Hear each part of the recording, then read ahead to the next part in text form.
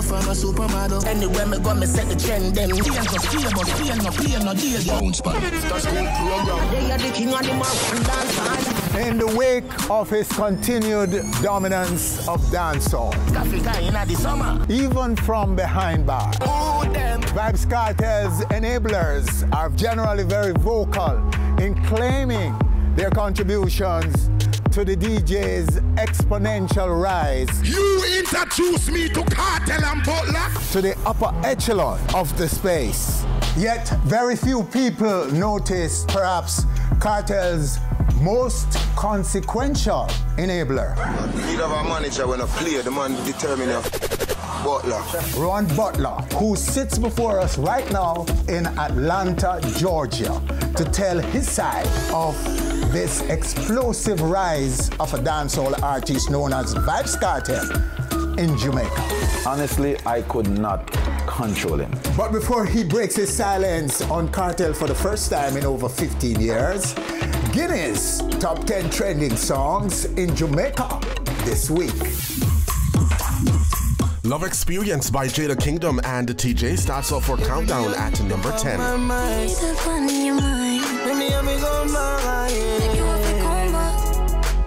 We Okay says Ritical at number 9.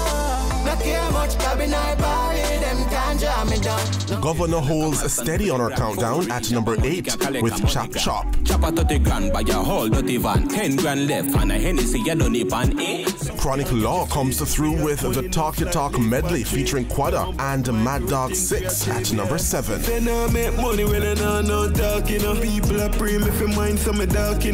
While Alkaline has The Medicine at number 6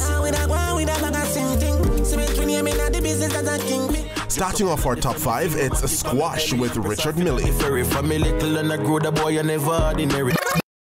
No, no, no, no, necessary. Chanel Muir is exclusive at number 4. I don't watch the growth, me know my grow, me got a lot of flow, them sick. Stack a lot of shows, I'ma make a lot of hits. Chronic Law makes his second appearance on this week's countdown with Not Tell Me Nothing at number 3. Lose a fam, no tell me nothing. Never get set up in a gang, no tell me nothing. And Intence with the Yahoo Boys is number 2. Mark X with a crown, you know, see plate. Big food Jack Dog, make us celebrate. Costa Rica, Espanol, client. Shooting to the number one spot of this week on our Guinness trending countdown. No surprise here, it's Shenseea with Run run.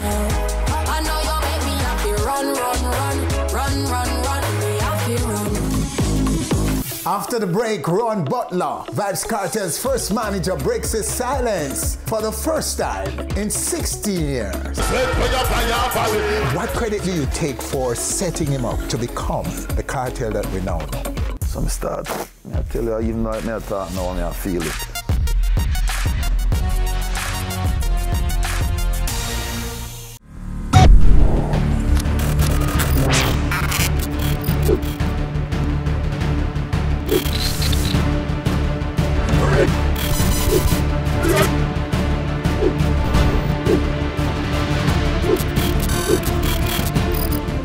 On stage with Winford Williams. So much more than entertainment.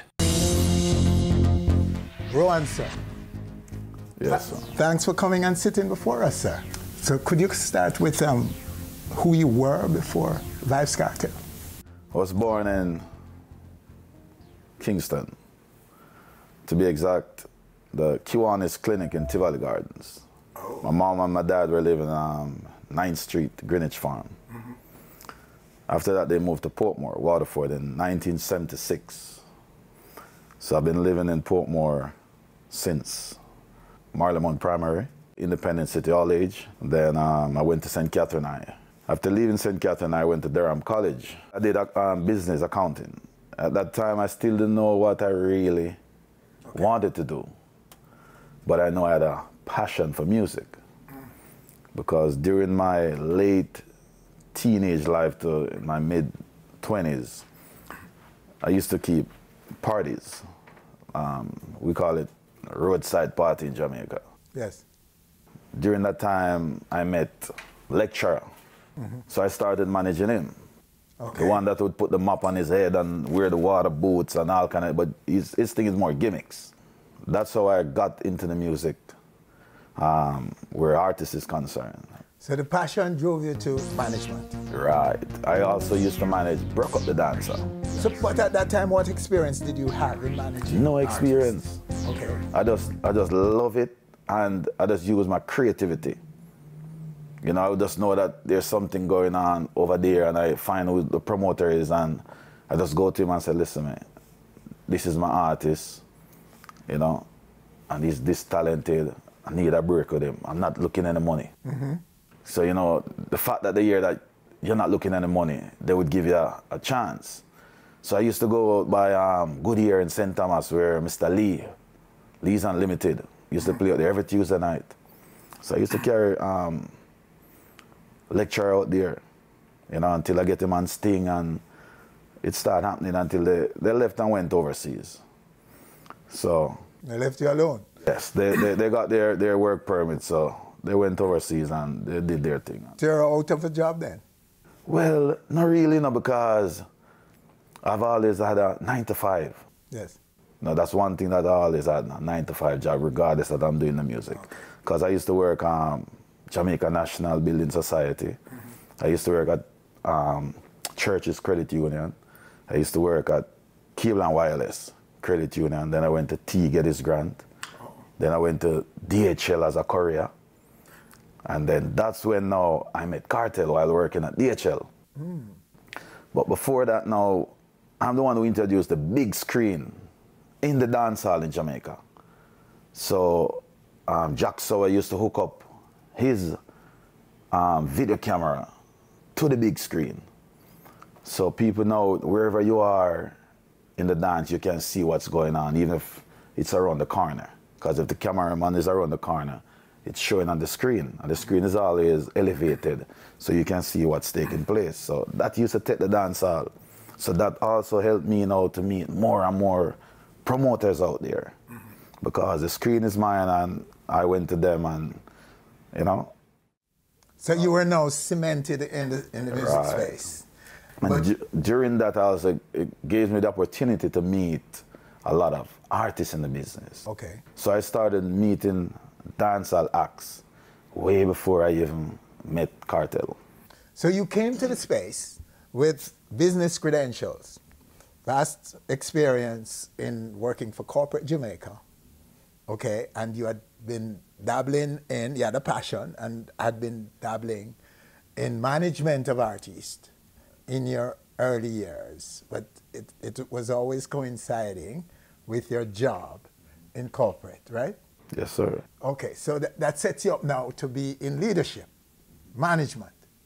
So what was it about Kartel that, that drew you to him? Or was it he who found you? No, well, interestingly, you know, back in the days in the 90s, early 90s, we used to have the, the cable company just got introduced to um, Portmore. So we had a channel called Channel 33 Yes. On, on the cable company where all the show is videos of parties that happened previously, you know.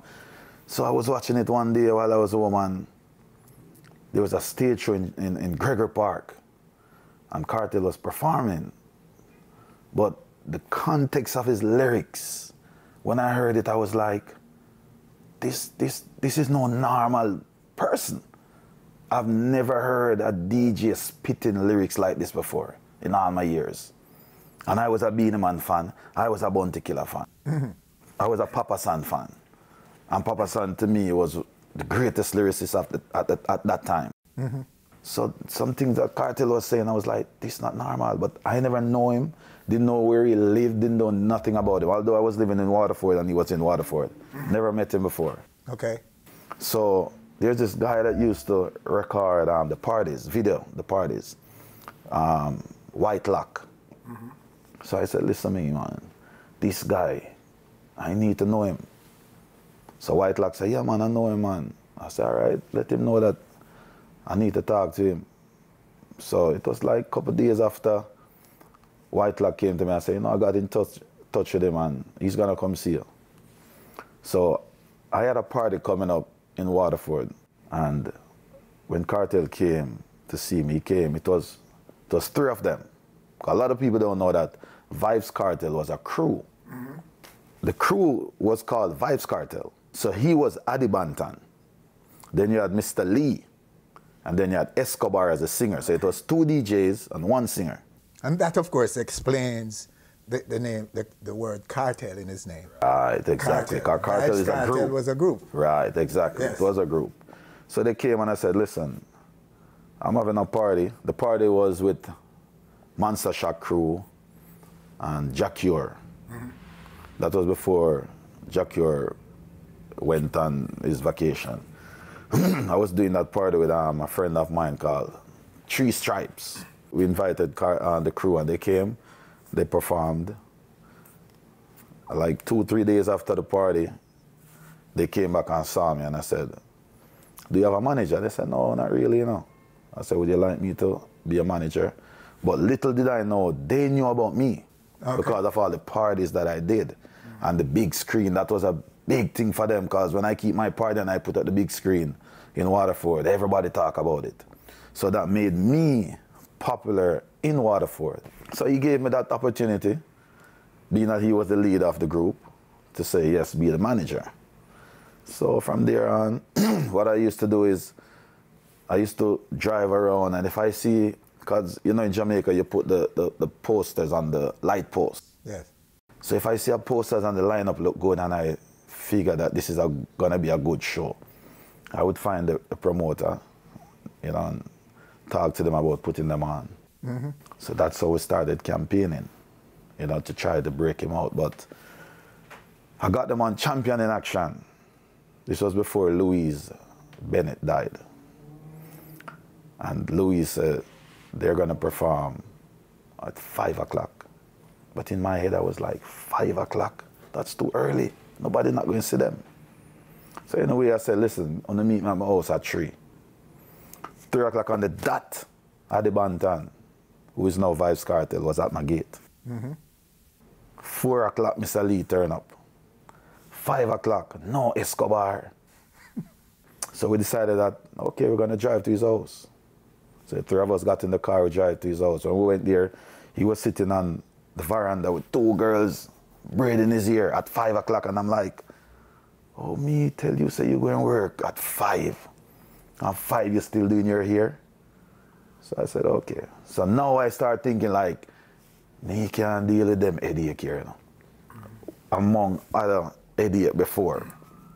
So that's when I decided that this is it for me. I'm gonna leave these guys alone you know, because they're not serious. So when I got to the show, I said, you know what? Kartel have the real talent. So I said to him, I'm going to put you up there first. Let you perform.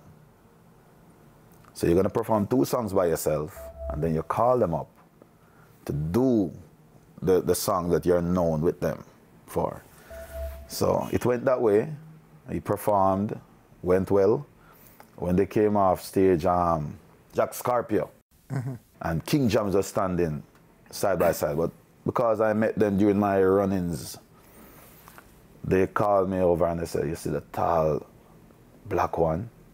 And bad. I said, I know man, that's why I do what I did. Because I wanted to showcase and let people know where the talent really is. Two legends. All right, called me in and spoke about him right there. Oh, yeah. So I said, yes, that's good. You understand? So after the show, I told him, I said, listen now, You're fired. I'm done. no, I told him, I said, I'm done. You fired them, or you said you? No, everybody, who? The whole everybody, group? whole group. I said, I'm done.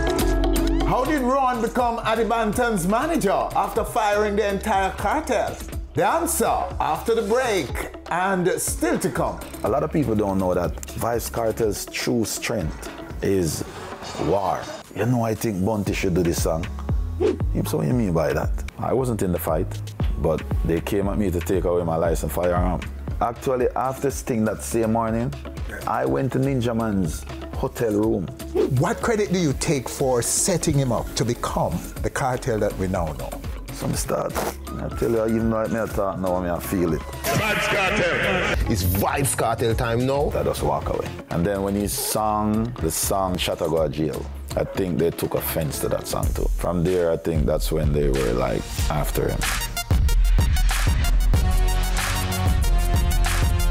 Dream Weekend New York, August 27 to 29. For tickets and info, visit dreamwkndny.com. And now Rohan answers the question How did he become Adi Banton's manager after firing his cartel? About two days after that cartel come back to my house and him say, listen, you know, I can't carry them on my back go off a tree from Portmore, you know. So I still want you to be my manager, you know, because now cartel see me getting pan champion in action. And him know say this never happened for him before. Mhm. So when he said that, I said, okay, no problem. So he fired them. No, I guess he just made a decision on spot because, I mean, he was the one writing all the lyrics. All they had to do is just rehearse for the show. And he was upset also. Because for him to be. About the behavior? Yes, he, for him to be the, the, the, the, the more dominant one then of the group. Mm-hmm. And he was at my house at 3 o'clock. Yes. And they didn't turn up until when they felt like it. It's like to him, they weren't serious. You understand? So he said, listen, I don't, I don't care about them. But I didn't really want it to go like that. So I said, you're sure? He said, yes, because Mr. Lee at the time to me was the one with the better vocal. He could have, his clarity and everything was, and his voice was strong. So I, I would rather have them as a group. Yeah. But when Cartel said that, now I said, all right, we're gonna take on the road together. And then I had met Bounty Killer from 1998 when I was having a party, and he did the commercial for me Yes. to promote the party. And then that is why, oh, when I gave him the big screen for Saga to the East in 1999. I'm waiting for that. Yes, and I said to him, I have an artist, you know, that I want to perform, but I want him to perform when you are performing. And he was like, he, he can't guarantee me that. Because then he never meet cartel yet, they don't know nothing about cartel. But me, I convinced him, say, no man, the youth are bad. It so happened that cartel was slotted to work much earlier than Killer.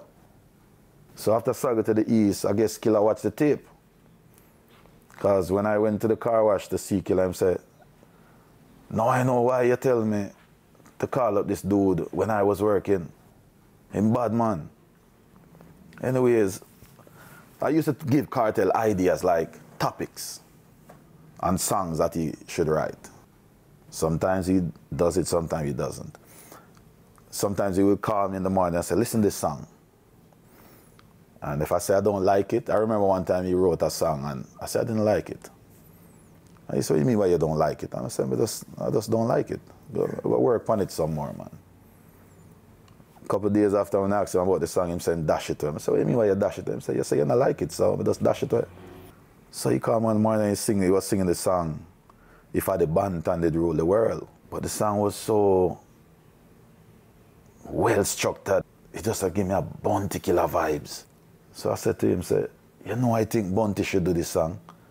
He said, what do you mean by that? I said, yeah man, but he didn't like the idea. I could tell. Okay. you know? But he didn't really come out and say it to me, say, no. Eh, I guess he trusted my my vision or my knowledge and just say, all right. So oh, we'll get this to Bounty. I said, don't worry yourself. I took him to the studio, did a demo, went to the car wash all by myself. Come know a Bounty stay. A Bounty is not a man you can just go car wash and walk up to like that. You, it's gonna take you hours or probably days to get to talk to him.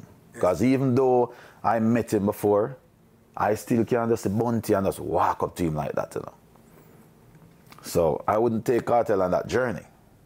You know, I had the time, so I go to the car wash and I would sit sometime Bounty don't even turn up. And I had to leave, but one day eventually he turned up and I gave him the cassette. It was actually two songs on the cassette that I gave him. So he took the cassette and said, okay, he's gonna listen to it. So one morning now, just drop off my baby mother at work. She used to work at a Ministry of Labor. And when I was on East Queen Street going back to Portmore, my phone rang. I answered the phone, and the man said, Butler Wagwan. I said, who this? He said, Bunty. I said, yeah, it's Bunty. Come off on my phone, man, about Bunty. I hang up. So the phone ring back again. Man, so I say, yo, who this? What you want? Man say, Butler want you. You can't believe that bounty killer call you. So that time I said, blow a bounty for true, because my phone never ring it and it's bounty killer. He's always face to face with talk. And him say, yo, we listen to the tape and me and God that drive go over shop. And we listen to the cassette. Boy, bad man. Him say, when an artist good, him good, but a you time wicked. So I start, me I tell you, even though me I talk now, me I feel it. Mm. Me I say, this feel good for your Bunty, I praise me DJ them way I know. So Bunty I say, yeah man, him bad man, we have to go do some work. I say, good. I go home and I tell the DJ. So the DJ admit, Computer Paul way before he met me through a guy named Les. That Les is an engineer. So Les used to work over Computer Paul studio too. and Les live in Waterford. So Carter let me meet um, Computer Paul. Computer Paul had a rhythm. So we make Computer Paul know say, you know, say, okay, I'm probably get killed off a vice on the rhythm. So because me want bus Kartel now, Computer Paul say, hey, you, know, you make killer vice, I got bus Kartel. And true, you know, Computer Paul did the Carderai rhythm. Mhm. So me have him as a big producer, so me believed in him. Me not think him go sell me no girl, you know? Yes. So we talked to Killer, and Killer was kind of reluctant, but when you think about it, Computer Paul is a good producer. So I remember it was a Sunday we went to Anchor Studio, recorded that song for Computer Paul, but Computer Paul never did nothing much for the song. So Killer got vice it over for jammies them.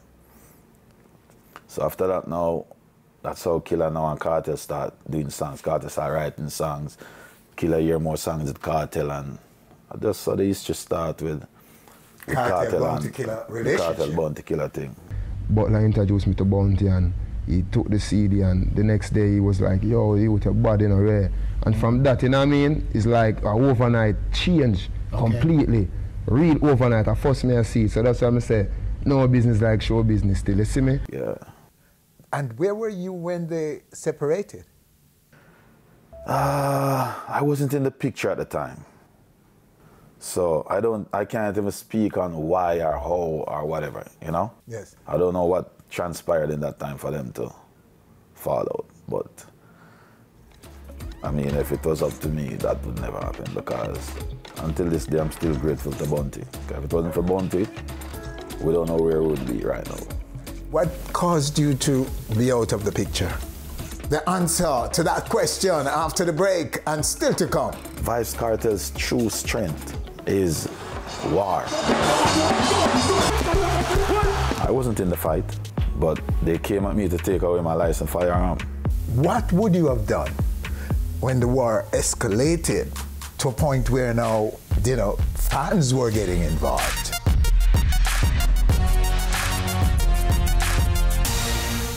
On Stage is brought to you in part by Dream Weekend in New York, August 27 to 29. For tickets and info, visit dreamwkndny.com. Be out of the picture. Well, it's a, a collection of things. You know, you know, artists when they get established and uh, fame and a lot of things, but it was more so of a misunderstanding between me and him, monetarily, why I walked away. He, he, he got misinformed about um, a payment that I got from a promoter in England, but he never asked me about it. He assumed because the figure that the promoter told him that he gave me, the promoter wasn't lying. But all of that money wasn't for him because at the time I brought Cash Money Sound and Singer J with me to England. So it was really three artists because after a while I was managing Cash Money Sound and Singer J. So I brought all three with me. So the money that he gave me was for all three. Okay. But Kartel heard the figure, thought all of that was for him. So he was looking at what the promoter told him and what I told him that I charged. And the breakdown there, and he went and he told Roach, and it just cost. I didn't feel good. Mm-hmm. Because I never even liked Roach either. So the fact that him tell Roach and Roach I run with it, it just I just get into my feelings and my ego and all of that. I just walk away. So it, it wasn't nothing other than just a misunderstanding between me and him. So he had changed from you to Roach by then? Well, after that, I, Roach was always Roach. Just a dude in the street where Kartel can ask to do anything, and he would run and do it. We, were, we didn't get along, put it that way. So when, when he heard it, I guess it was a joy for him to start, you know, spreading the propaganda. So I just decided to walk. I just never called a cartel phone and he just didn't call mine. Hmm. It took us six months before we spoke after that. Yes. So who who broke the, the ice, so to speak? Well, you know, it was me because I was living at the US Embassy on Oxford Road in New Kingston. So I was driving out one day and Kartel and a bunch of guys came out there to go put in their petition. So when I saw all of them uh, while I was driving out, I pull up and I said to him, what you doing here? And him said, you know, it's a petition we come put in. And I said, all I wanna.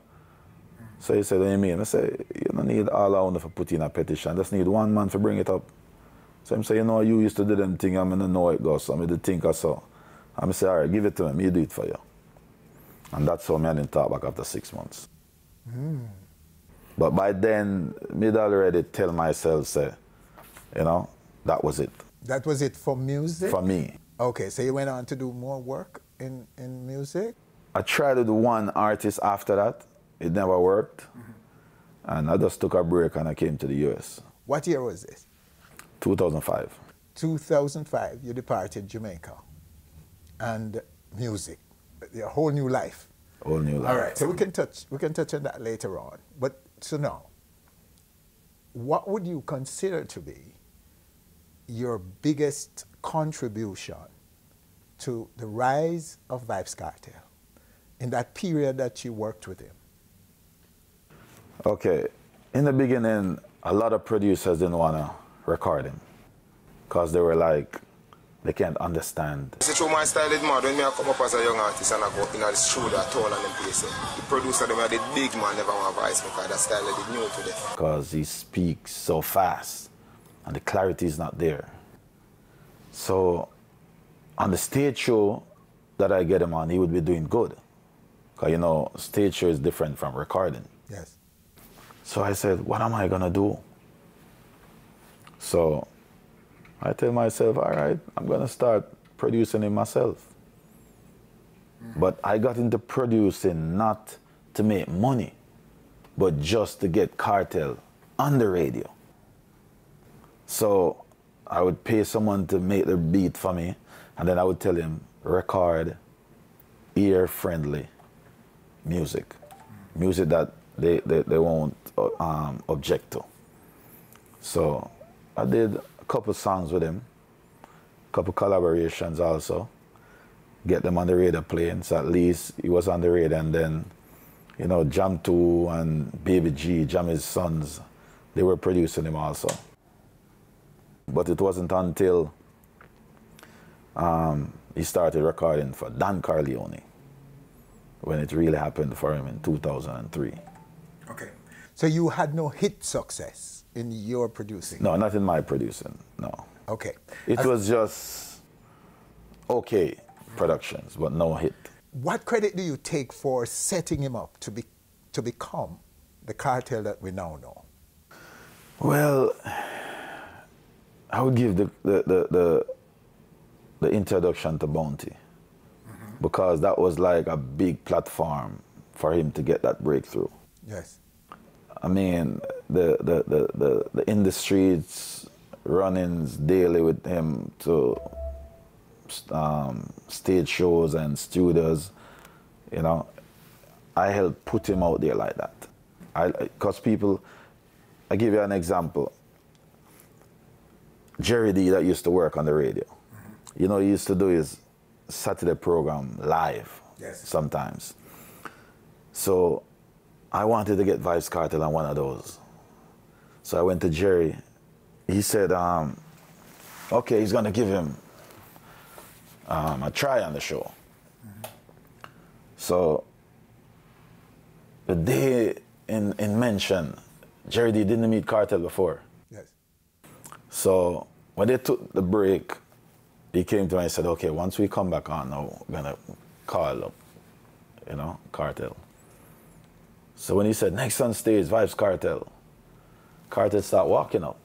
So he stopped him. I said, no, I'm calling me. So I said, no, man, it's him. He's the artist. And Jerry said, oh, because I was campaigning in the street so much. Yeah. I used to DJ his lyrics to artists and to producers just to get them to know him and also to record him. So with, by campaigning him so much for him, people used to think I'm the artist. Hmm. Or think I am an artist. Yes. So they didn't really know him then. And then he never used to go in the street like I used to, to studios. He would mostly stay in Waterford. So, you know, our regular artists would more be at the studio every day trying to look the rhythms to record. I used to do that for him Yes. because he never wanted to leave Waterford. So I'm the one who really took him out of Portmore, bring him to Kingston, mm-hmm. where he could meet those people.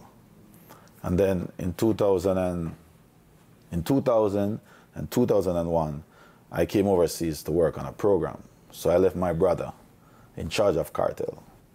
So during that two-year period, that's how he met some of the top um, selectors to like Firelinks and Renaissance, Jazzy, Jazzy T and those guys. So, and then my brother met Sharon Burke and introduced Kartel to Sharon Burke also during that period. Because Sharon met my brother before she knew me. So it was a collection of um, the, the road work, the footwork that I did and introducing him to. So you you're taking credits for setting the foundation? Oh, definitely. Definitely. But not 100%. Yes. Because I have to share the credit with Cash Money Sound. Because Scratchy B used to make a lot of CDs and put out with Vybz Kartel, like just Vybz Kartel only, even when no one knew about Vybz Kartel, until it helped to propel the Cash Money Sound into prominence. Because now everybody going after a, Vi- um, a Vybz Kartel CD from Cash Money Sound. Because it's, it's, a, it's a, a sound system from Portmore Yes. that um, Kartel used to just go there and record for Scratchy B. And songs that people don't even know, Scratchy B would play it even if you're not moving in the party. He's playing because he also believed in vibes. So that was the underground promotion Exactly. when lots of us didn't know him yet. No, nothing. That was going on in the hardcore street. Yes. And also Cassette Jones. He used to sell cassettes um, in Crossroad. Yes. You know those guys who would go record the parties and come back and sell the tapes and stuff. He also used to make his own compilation of Kartel songs. Okay. Plus, when we used to go to the stage shows, I used to go to him and I said, put like 20 songs on a CD for me. And he would burn them, give me like 100, 200 CDs. So when I go to the parties, I throw them in the crowd. Because that's how I used to promote Kartel. Okay, so you so you you were intricately involved in his underground promotion as well as above ground, meaning mainstream radio and television. W- wasn't it you who brought him to us for an interview? For interview, yes. His very first interview and on stage, you were the man managing him. Yes. And I also give credit, I can't stop. I mean, no disrespect to DJ Wayne. DJ Wayne is like the icing on the cake. Yes. But Digital Chris from IRIE FM, the first time I met him and told him about Kartel, he was like 100% receptive. So I share the credits with them. But of course, you know, Bounty Killer is the real, that was the icebreaker right there. Once he met Bounty, it was, it was all over. Like, like, like the song says, Butler introduced me to Bounty, and the rest is history. No joke.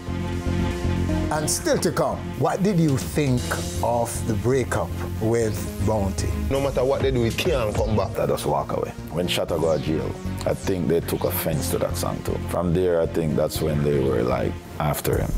honestly, I could not control him.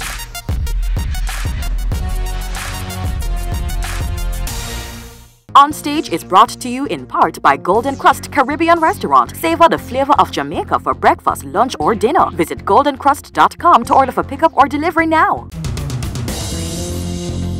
What did you think of the breakup with Bounty? If I should be honest, I wasn't pleased. Because this is me. Um, if, if you have done something good for me, I would always be grateful. And I'm not saying Kartel wasn't or isn't, but he would look at it different from me because he's an artist. Yes. His aim is to be the best. You understand? So he's not going to think the way I do. That is why artists have managers. Because managers should be um, level headed, where you don't let emotions and all that get in the way to, for you now to go take side and mess up your artist. You should be able to say, you know what, you, you might be in the right, but this can damage you. Don't do that. So I didn't like the fact that they, they had that fallout, but thank be to God, they're good now. But some will say that the breakaway from Bounty Killer was the when Kartel started his exponential rise, when he was now on his own and found the deeper him artistically. Some will say that. What do you say? I wouldn't agree. You know why? In my head, Kartel was so talented that would not stop him. Because it's not like Bounty would say, you can't record that song or don't record that song. Bounty Killer is not going to stop him from recording. So he would still do his recordings. Maybe the breakaway may um, show him up more because when he started the clashing, people will see the real talent. Because a lot of people don't know that Vybz Kartel's true strength is war lyrics. That's his true strength. You you try to war with him, trust me, you're gonna see how talented he really is. Yes, witty, quick. Terrible. So when he went to Don Corleon and he did Sweet to the Belly and he saw the reaction that he got, he realized that I can't do girl song too, you know. But his true strength was war lyrics. So what do you think? What did the trick for him? Is it, as you call it, girl songs or war? The girl songs gave him the breakthrough to me, but let me tell you, man, sometimes they say what have bad, make good. Yes. The breakup with Bounty Killer was probably the, the, the, the, the patch for him to show how bad he is as an artist lyrically. So he was inspired. Right. Maybe he would have ended up warring with another artist. Because remember, he, he had a little, a little minute war with Spragga Benz and, and Assassin, you know, which didn't go anywhere, really and truly. But with the Mavado and the Kartel now, because Mavado feeding into it, Kartel feeding into it, that went. And sometimes the business need that. Yes. Because it helped both of them financially. Would you have supported that? The Gully Gaza war. To an extent, I would say yes, but I wouldn't. I wouldn't support it for it to get to the level that it got to. You understand? Because at the end of the day, my father, and even until now, is still a friend of mine. He, he's not gonna see me and pass me. You understand? We still have respect for each other. Bounty Killer is the same. Bounty came to Atlanta to perform. I think it was 2008 or 9, and he saw me. And at the time, Young Kartel was deep in their their beef, and he never showed me no bad face. He spoke to me like nothing. What would you have done when the war escalated to a point where now, you know, fans were getting involved? Well, Winford, you have to understand this. You know. I can't even sit here and tell you that, you know, because sometimes the clash is bigger than you, the manager, you know. Yes. Because when an artist is up at 2, 3 in the morning at a studio recording, you're not there. You don't know what he's doing. A lot of his recordings, I'm not there. You understand? And I can't try to be everywhere he is because I'm not his producer. I'm not. I, I did not sign him as a producer. I signed him as a manager to manage him. So when he's doing his recordings, sometimes I'm not there. So, those lyrics are already gonna be out there, and I can't pull it back.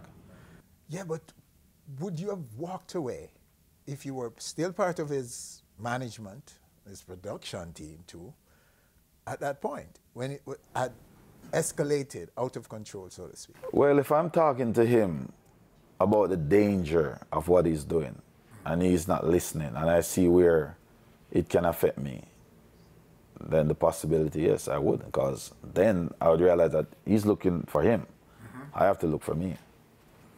Because even with Sting, 2003, the Ninjaman saga, Yes. I had a license firearm. I wasn't in the fight, but they came at me to take away my license firearm just because of my affiliation with the artist.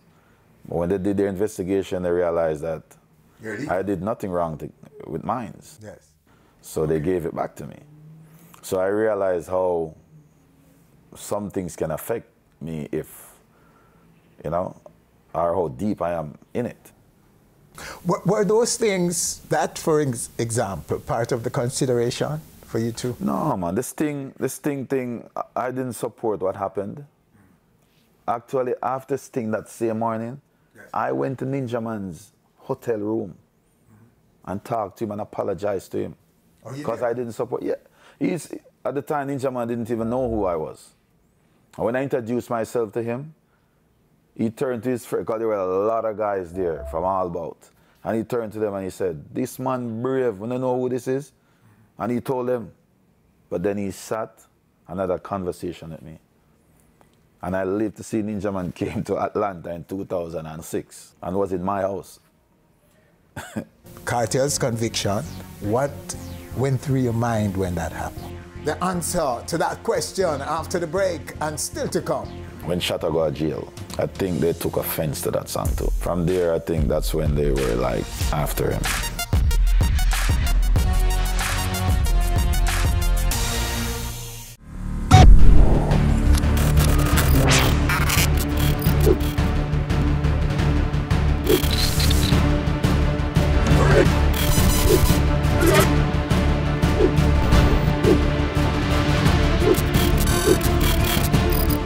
On stage with Winford Williams. So much more than entertainment.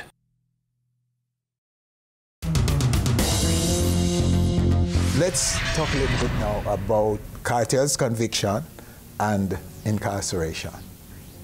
What went through your mind when that happened? All right, you know, I'm not pleased with what had happened, in all honesty, because of what I heard. Remember, I don't know about the case. Yes. Because I can only speak of what Is is said in court, right, in the court, and what I hear. So, a lot of it in my head, I believe it's a target, but that's just my belief. You mean people targeting Carter? I think the system was at him. The system. After mm-hmm. The legal ever system? Since, legal, ever since Sting, I believe the system. Because what happened at Sting should not have happened. And a lot of them were upset because of it. And then when he sang the song that says, mm, when Shatta go to jail, I think they took offense to that song too. Yeah, so from there, I think that's when they were like after him, just waiting for him to slip up.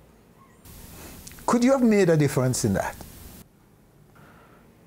Any positive person could have if he would listen. Because the thing is, you know, he has to listen and is willing to listen and take advice. You understand? So you could you could preach all you want. If somebody is not interested in what you're saying or don't care, then you're not gonna get the result. So telling him the right thing is one, but it's up to him to really see what you're trying to say to him. And it's not like Kartel is not a, a young man that you can't talk to. He's someone that you can't talk to, but sometimes he has his beliefs Yes. and you can't knock him for it.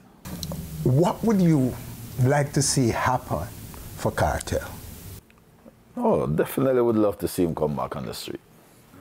Because at the end of the day, you know, he has a family that he loves dearly. He has a life to live. And I'm sure the time that he's where he's at now, he must look into a lot of things and see how he could have handled it differently. So I believe I believe he, he, he, he should get another chance. Do you think he will? I'm hoping. The thing is, when the system is after you, it's hard. That's my belief. And not because I say this now, it means that that's how it really is. But just on my belief, I think the system was after him. Did he ever want you to come back and manage him, to be part of his management, his team? Yes, on two um, separate occasions. Um, in 2006 March, he did three shows um, in the U.S. One in Texas, one in Orlando, and one in Atlanta. So I went on the road with him for those three shows. It was him and um, Escobar, Mega Banton, and um, Merciless. So I was on the road with him for those three shows. So after he he left to Jamaica, he texted me saying that he would like me to come back to be his manager. Yes. But for the same reason what I've said earlier, like the system, because I, I was hearing that from people in the system that they didn't like his behavior at Sting. So I knew. So I said to him, turn yourself into the police and clear your name. I guess he didn't like that, or he didn't want to hear that. But six months later, he was on Ari with, or one of those stations with Mark Shields and Mavado. And I was like, that's what I was telling you to do six months ago. You know, so. The peace truce that was right, called just at, to- at the you see, the police can say what they think, what they hear, and also what they know. But until you go and face them sometimes, you never know going on. So he- had he had done that, then yes, if, if he had listened to me and said, you know what, I would go, but I want you to be there when I'm going. And then in June 2009, it was actually June the 3rd, I had a long conversation with him, over an hour on the phone. And he said to me, Butler, really need a manager. He said, business is going good. He said, the closest thing I have met since you left is Corey. That's Corey Todd. But Corey's still not good like you. I need a manager. And I said the same thing to him. I said, you're, you're joking. I have too much yes man around you. Which he admitted. He said, yeah, it's true. So you would have gone back had he cleared himself And of. uh, those things that I said to him was for him to convince me that he's a different person and he would listen to me. Because honestly, I could not control him. Okay. And I realized that. Because even if he tell me yes, he's still gonna do. I mean, example, so you understand. I book shows overseas for Kartel. And when the day come for, for us to go on the plane, Kartel is nowhere to be found. I remember when I was at the embassy, men came at the embassy. Well, I told them where I live, 'cause I wasn't hiding. Yes. Because we didn't go to their show in the US and they wanted back their money. So I told them where, where I was for them to come and get it. And I remember one of the men said to me, You know why we're not going to do anything? You didn't hide. You were so cooperative because they were so pissed. So I went through a lot of that where we collected money, he didn't go to the shows. For why? Why didn't he? Winf- Winford, I can't answer that one. he has his reasons, I don't know why. Sometimes we double booked. I book a show for him, he book one for himself. So we had those clashes. So the frustration was building up. Okay. So that is, you know, it just lead up to me just being like, I have to start thinking about me. So, what kept you silent for so long? You have not been out there claiming, as do so many who helped his, his, his, his rise. Because I'm not that type of person. People will hear the name, but they don't know the face. Did that have anything to do with you staying away from music for so long? Staying away from the music was a choice of mine because if I could make my name worldwide with the affiliation of Vybz Kartel, why would I take up someone who is going to be less? A lot of artists um, contact me until this day. In my head, if I can't find another talent on the same level as Kartel are better, it makes no sense for me because that's like I'm going backward. Yeah, I'm a bit excited right now because of um, my nephew, King Ziddy. K-X-N-G underscore Z-I-D-I-I. That's his Instagram name. He has like almost 80,000 followers on Instagram and over a million on TikTok. And um, if he decides to take music seriously, I'm excited for him because I'm also going to be a part of that journey. Right now, he's the person I see that could take me back to music. Oh, wow. You're in business now. You're a businessman in the United States now. Are you comfortable with, with your life now? I'm happy to an extent, yes, in my life right now. If there were things that I could have changed, maybe. But like I said, it's for a reason why it happened. Because, like the Bible says, before I was born, God already know my journey. Family, kids? Yes, I have three kids. Um, I have a fiance right now, a girlfriend. I'm not married right now. Yes. But three kids? Three kids. You cared about how people will react to this interview? No, not really, because you have to understand, you know, the people from day one who knew Vybz Kartel before he became Vybz Kartel and who knows me, they're gonna say that there goes the truth. Because a lot of guys out there talking all this nonsense about them and their part that they played in Vybz Kartel's um, stardom. And I just laugh when I hear them. Some people, I, I remember I was in a party here in, in Atlanta. And this, this guy, um, Billy Slaughter from Stone Love was playing.